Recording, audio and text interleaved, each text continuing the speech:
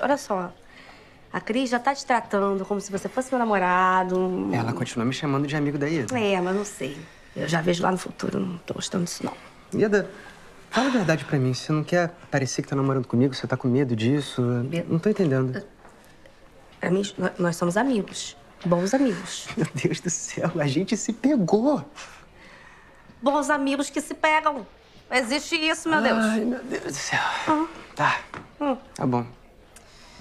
Mas será então que rola um beijinho assim antes de ir embora? Hum? Quem não quer nada? Que isso, garoto. Dói, Não tem ninguém aqui. Um beijo de bons amigos que se pegam. Hã?